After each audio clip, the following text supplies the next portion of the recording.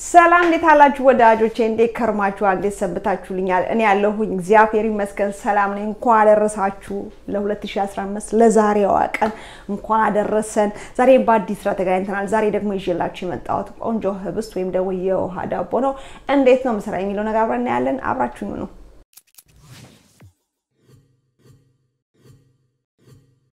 ዛሬ ለምናዘጋጀው ዳቦ የሚያስፈልገን ግብአት እዚህ ጋር ለሁሉ መስሪያ የሚሆን ወይም ደግሞ all purpose flour ተብሎ የሚባለውን ማለት ነው አይነት ዱቄት አዘጋጅቻለሁ። በመቀጠል ጨው አለ፣ እንዲሁም እዚህ ጋር ደረቅ እርሾ አዘጋጅቻለሁ፣ ነጭ አዝሙድ እና ትንሽ ዘይት ነው ያዘጋጀሁት። ከዛ ምንድን መሰላችሁ ማለት ነው ሌላ ጊዜ ቢሆን ምንድን ስሙ እርሾ ይሰራል አይሰራም የሚለውን ነገር ለማወቅ ለብቻው በውሃ ወጥተን እናስቀምጠው ነበረ። እኔ ግን የምጠቀምበት እርሾ ስለሆነ ስለማውቀው ጸባዩን ማለት ነው ሁሉንም አንድ ላይ ጨምሬ ነው የማወቀው።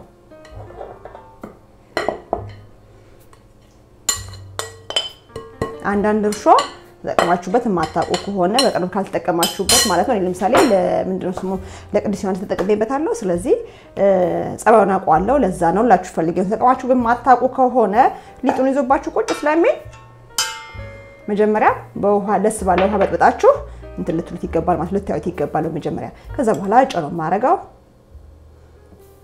እንደዚህ ጨምራለሁ። ከዛ ጥቂት ዘይት አደርጋለሁ። ከዛ ጥቂት ውሃ አደርግና አቦካለሁ። ነጭ አዝሙድም በኋላ ላይ ነው የምጨምረው።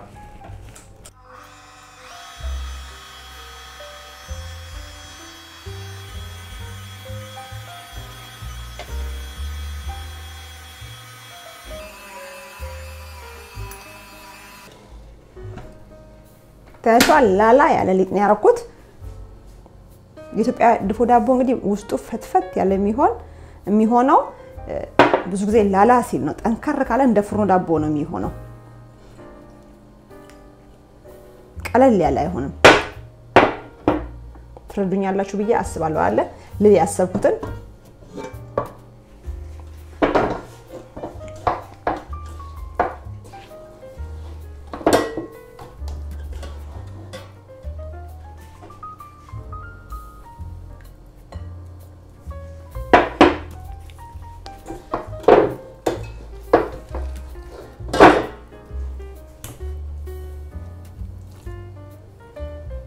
አያችሁት? በዚህ መልኩ ላላ ያለ ሊጥ ያደረኩት።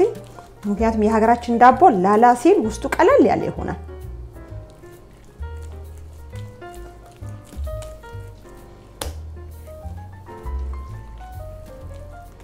ብዙ ጊዜ የወተት ዳቦ ምናምን ሲሆን ነው ጠንከር ያለ ሊጥ የሚያስፈልገው።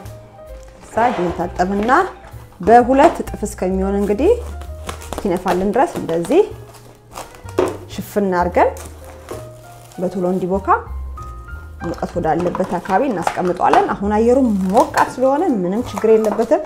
ደግሞ ለመብካት በዚህ ሰዓት እንደዚህ ሸፈን አድርገን ነው እዚሁ ጋር እንተዋለን። እንደምታዩት ሊጡ በሁለት እጥፍ ከፍ ብሏል። በሶስትም ልል እችላለሁ። በደንብ ነው ኩፍ ያለው። እንደዚህ መለስ መለስ እናደርገዋለን።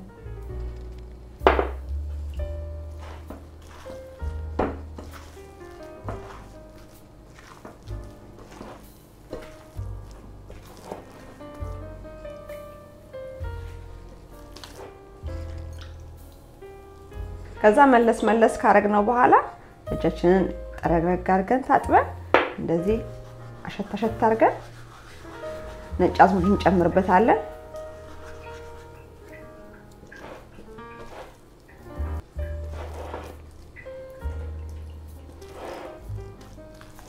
እንግዲህ አንዳንድ ጊዜ አንዳንድ ሰው ነጭ አዝሙድ፣ ጥቁር አዝሙድ ለምንድን ነው አብሮ የማይቦካው የሚል ሰው አለ። ስለሚርስ ነው አብሮ የማይቦካው። እንግዲህ እኔ እንደዚህ እንደዚህ አይነቶችን ይሄ ሀገራዊ የሆኑ ሙያዎችን የተማርኩት ከእናቴ ነው። እናቴ ይርሳል እና መጨረሻ ላይ ነው የሚጨመረው ብላን ያሳየች። በዛ ምክንያት ነው አብሽ፣ ድንብላል ምናምን ሲሆን እንግዲህ አብሮ ይፈጫል ማለት ነው። ነጭ አዝሙድና ጥቁር አዝሙድ ሁል ቀን መጨረሻ ላይ ነው የምትጨምረው ማለት ነው። እናቴ ደግሞ ባለሙያ የሚለው ቃል ብቻ አይገልጻትም። ብታያት የእውነቴን ነው የምላችሁ። ስለዚህ እኔም እሱን ነው የምከተለው። ተሳስቼ አይደለም ምላችሁ እወዳለሁ። በደንብ እንደዚህ ሁሉም ቦታ ድርስርስ እናደርገዋለን። አንድ ቦታ ብቻ እንዳይሆን ማለት ነው።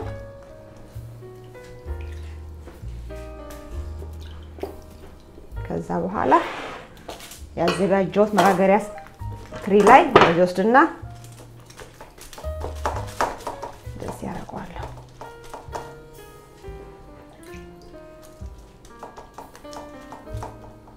ይኸውም በደንብ ነው የሚነፋው፣ ታዩታላችሁ። ቆንጆ ሚጥጥዬ የበዓል ድፎ ጣልናል ማለት ነው። የኔ መጋገሪያ ሳህን 23 ሴንቲሜትር ነው። እንደዚህ በደንብ እናደርግበትና ውሃ በደንብ እንፋሎቱ እንዲበስል ማለት ነው። ከዛ በኋላ እዚህ ጋር እሳት ለኩሰን ውሃ እንጨምራለን። የእናንተ የመጋገሪያ ትሪ የት ድረስ እንደሚዘልቅ ወይም እንደሚቀመጥ ማወቅ መቻል አለባችሁ። ወይም ደግሞ በጣም ሰፊ ከሆነ የመጋገሪያ ትሪያችሁ ከታች እንግዲህ የሆነ ስኒ ነገር አድርጋችሁ የሆነ ብረት ነገር የማይቀልጥ ነገር እሳት ቢነካው ማለት ነው እሱ ላይ ማስቀመጥ ትችላላችሁ። እኔ ግን እንደምታዩት አልሙኒየም ከታች እንደዚህ አደርግበትና እንዳይገባበት ማለት ነው። አይገባበትም፣ ከላይ ነው የሚቀመጠው። ከዚህ በታች ወደታች አይወርድም ማለት ነው። ከዛ በኋላ እሳቱን ለኩሻለሁ እንደነገርኳችሁ። ከዛ ምናልባት ወደ ላይ ከፍ ብሎ ከመስታወቱ ጋር እንዳይጣበቅብኝ አይጣበቅም ስለሚበስልም፣ ግን ለማንኛውም እንቅስቃሴ እንደዚህ እንሸፍነዋለን ማለት ነው። እንግዲህ ሀገር ቤት ቢሆን ይሄንን ወረቀት አናደርግም፣ የመጋገሪያ ወረቀት አናደርግም፣ ኮባ ነው ማለት ነው የምናደርገው። ከዛ በኋላ ግጥም አድርገን እንደዚህ ከድነን በእንፋሎቱ ይበስላል ማለት ነው። ረዘም ያለ ሰዓት ይፈጃል። እሱን እንግዲህ ጠብቀን ምንድን ሲባል ከአንድ ሰዓት እስከ አንድ ሰዓት ተኩል ይፈጃል። እሱን ጠብቀን ሲበስል እንግዲህ ማውጣት ነው ማለት ነው። ዳቦውን በሆነ ነገር ወቅተን መብሰሉን ካረጋገጥን በኋላ እሳቱን እናጠፋዋለን። ምናልባት ውሃውን ከጨረሰባችሁ ማለት ነው እንደዚህ ፈቀቅ አደርጓለሁ እኔ አሁን ትንሽ ቆይቼ አወጣዋለሁ ማለት ነው። ትንሽ ቀዝቀዝ ሲል ውሃውን ከጨረሰባችሁ ቀስ ብላችሁ ከፍታችሁ ውሃ መጨመር ትችላላችሁ። ግን መጀመሪያ ላይ ባለው ውሃ መብሰል መቻል አለበት። ያለበዛ ገና ከመጀመሪያው ከከፋፈታችሁ ስንጥቅጥቅ ሊልባችሁ ይችላል።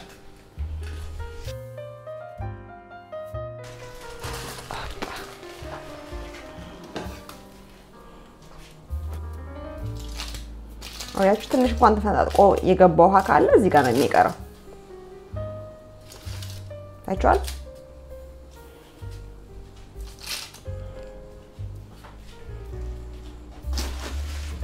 አሁን ትንሽ በረድ ብሏል፣ እናወጣዋለን።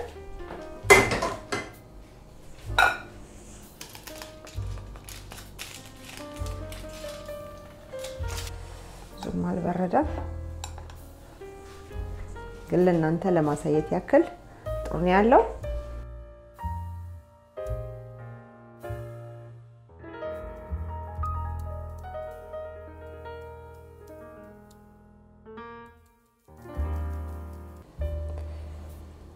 በትንሹ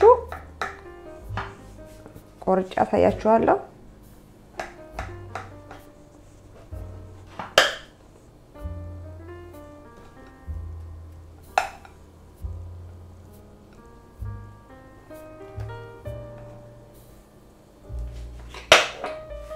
ታያችኋል። ቀዳዳ እንደዚህ እንዲሆን ያልኳችሁ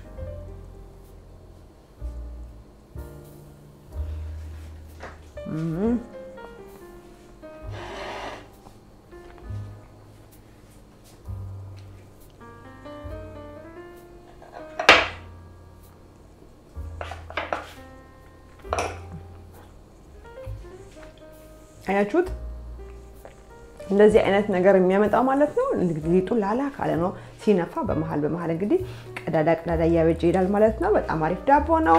እንግዲህ እኔ የምላችሁ ነገር ቢኖር እንደመሰላችሁ ሁላችሁም በየትኛውም ቦታ ያላችሁ ሰዎች ብትሆኑ እንደዚህ እንደኔ ሚጢጥዬ ድፎ ዳቦ ከጋግራችሁ እንግዲህ በዓልን በዓል በዓል አስመስሉ ብዬ ላለሁኝ።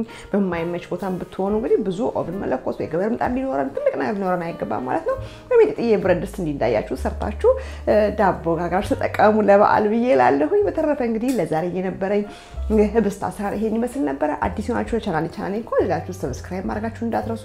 የሰራቱን ደግሞ ካደነቃችሁ በ like ፍቅራችሁን ግለጹ ሳትረሱ ብዬ ላለሁኝ። በሌላ በቆንጆ የምግብ ስራ ደግመን እስከምንገናኝ ሰላም ሁኑልኝ። bye bye።